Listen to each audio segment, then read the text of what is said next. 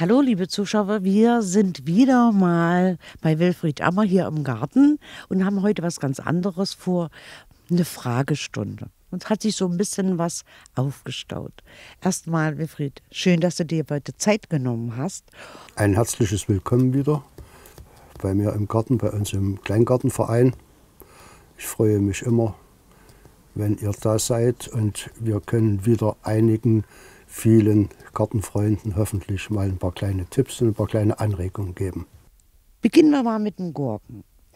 Ähm, ich habe selber erlebt, das ist jetzt auch meine Erfahrung. Hups, die Gurken sind gewachsen, die Blätter fangen an, auf einmal gelb zu werden, weiß zu werden, Flecke zu kriegen.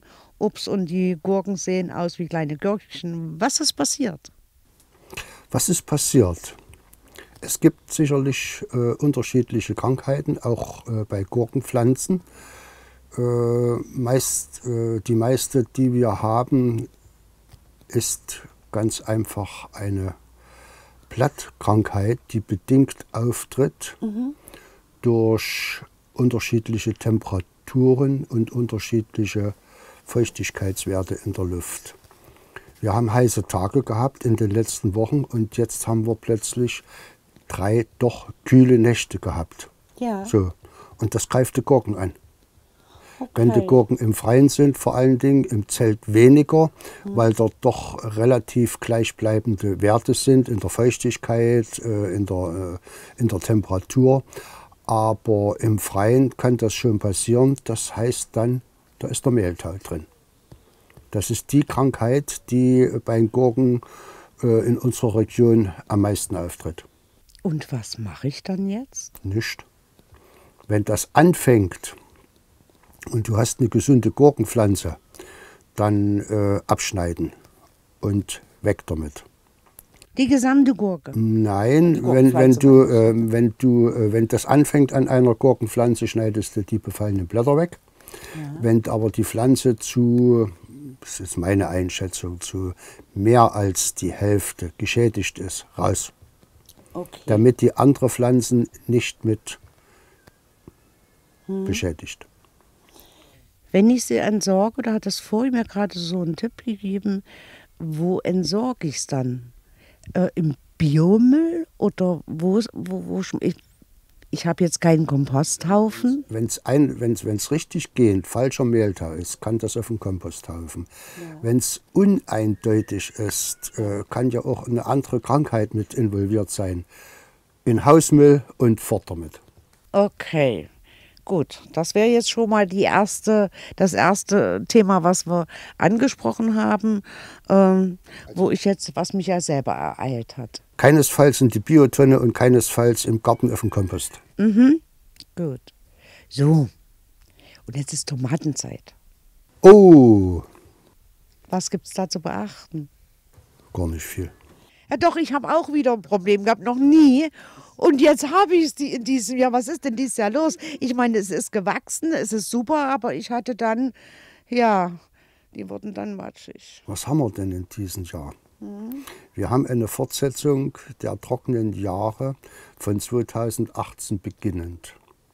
So, Im Frühjahr habe ich noch eine Einschätzung gegeben, was sich auf unser Gelände hier bezogen hat dass wir äh, noch eine relativ äh, gesunde Bodenstruktur haben, auch eine Oberflächenfeuchte, so 30 Zentimeter, mhm. weil wir ja im Winter doch einiges an Regen abgekriegt haben. Ist lange weg. Ist lange weg. Der Kleingärtner steht äh, jetzt äh, seit Wochen, gerade bei uns in, in Sachsen-Anhalt im Süden und äh, in, in äh, Westsachsen, vor der Frage, was machen wir? Was, wie viel gießen wir? Was gießen wir? Äh, welche Pflanzen wollen wir erhalten, wo wir haben ja was ausgepflanzt ausgesät, wir wollen ja auch was ernten. Ja, ja, sicher. ja? Mhm. Sicherlich ist es dann auch wieder eine Frage des Geldbeutels. Der eine hat große Wassercontainer, so wie ich, zwei Kubik. Äh, der andere muss überlegen, wo nimmt er, wo nimmt er das Wasser her und es ist schnell. Auch so ein Kubikmeter mhm. ist schnell alle. Mhm. Ja, Tomatenpflanzen. Ich habe relativ spät angefangen, weil es immer kalte Nächte gab. Äh, ich weiß nicht, ob das erfolgreich wird insgesamt. Bei mir fangen die Tomaten an äh, Farbe zu kriegen. Ich habe die ersten Früchte geerntet. Der Geschmack ist schon da, aber es ist noch keine Vollreife vorhanden. Was braucht eine Tomate? Entgegengesetzt oder nicht ganz einverstanden so mit der Gurke. Die Gurke braucht bloß Wasser. Das ist eine Wasserpflanze. Mhm. Ja. Äh, die Tomate braucht auch ein paar Nährstoffe. Gerade wenn, sie, äh, wenn so eine Trockenheit herrscht wie jetzt, äh, der Boden verdichtet sich durch die Trockenheit ganz einfach, weil wenn du nicht von Beginn an lockerst, äh, verdichtet er sich, da kommt ein bisschen Gießwasser drauf und das äh, geht zwar noch so einigermaßen an die Wurzeln der äh, Tomatenpflanze oder an andere Pflanzen, aber es äh, verdichtet sich der Boden. Also ein bisschen aufhacken, dass ich das Wasser an die Feinwurzeln besser verteilen kann und ich mache es so, ich habe Tomatenvolldünger, der auch für andere Gemüsepflanzen und auch Paprikapflanzen geht. Da ist nämlich so ein kleines Behältnis und kippt das auf 10 Liter Gießwasser und das jede Woche einmal. Mehr nicht. Schluss. Ich habe ja schon mal gesagt, äh, im Frühjahr Langzeitdünger in der Erde, auch dorthin, wo Tomatenpflanzen sind. Und dann nur noch Flüssigdünger, weil der Trockendünger braucht sechs Wochen, ehe das von der Pflanze her aufgenommen wird. Sag mal, Braunfäule nennt sich doch das auch bei Tomaten. Ne? Ja. Wie entsteht die? Weil sie, weil die Tomatenpflanzen im Freiland, also jetzt nicht im Gewächshaus steht, äh, zu viel Nässe abbekommen bekommen wir durch den Regen oder durch ja, Gießen und Sprengen und du kommst ja doch mal dran? Oder haben sie zu eng gestanden oder was?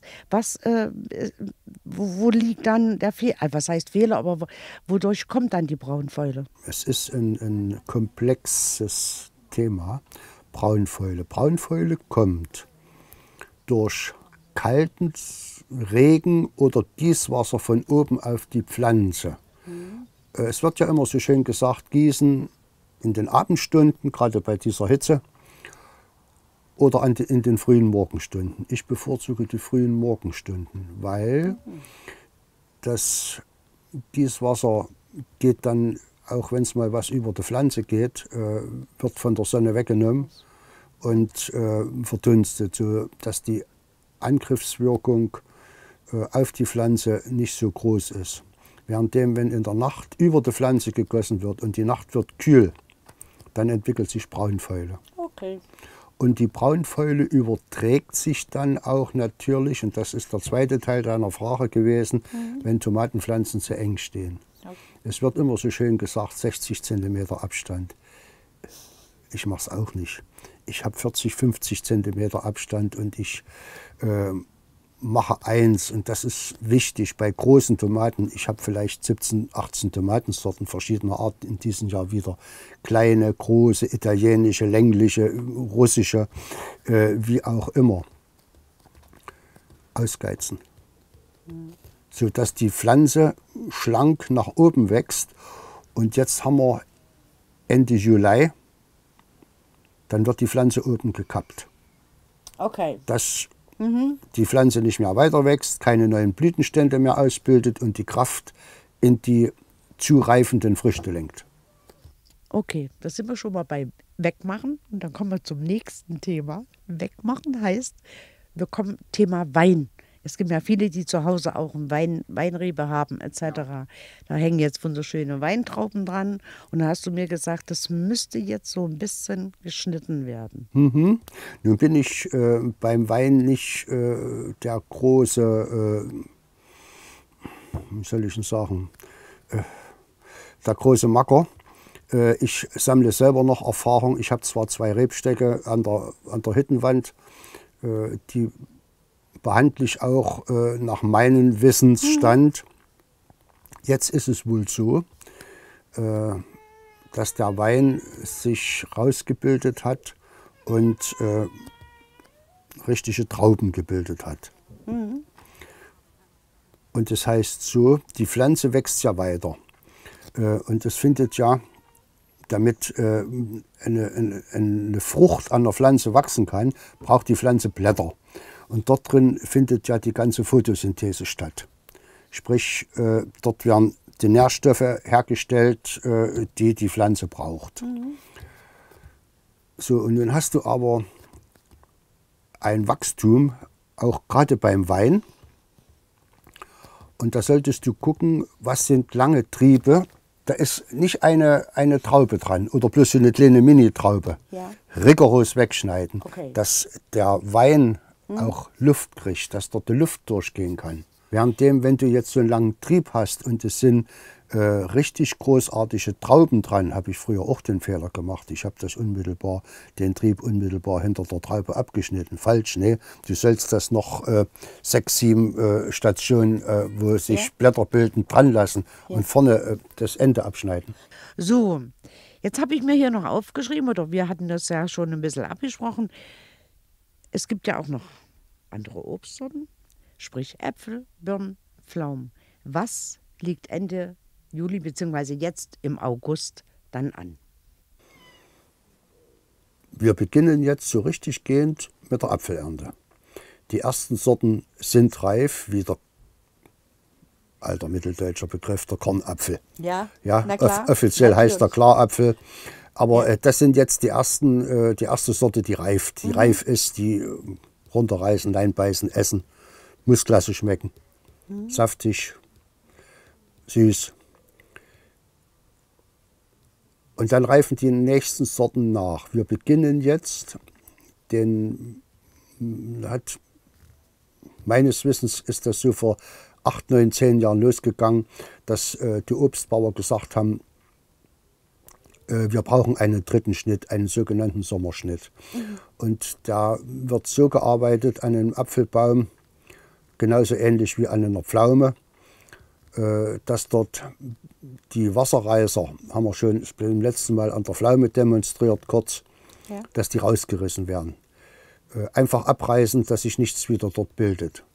Nun ist es aber beim dicht wachsenden Apfelbaum auch so, dass der ausgeschnitten werden muss, darf.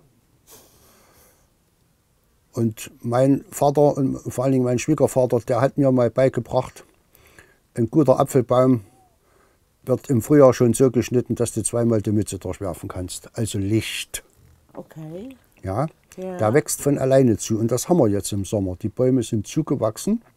Sehen wir dann auch wieder. Ja. Und äh, die dürfen auch ein Stückchen ausgeschnitten werden. Das ist dieser Sommerschnitt, dass dort wieder Ah, ja. die Luft durchgehen kann.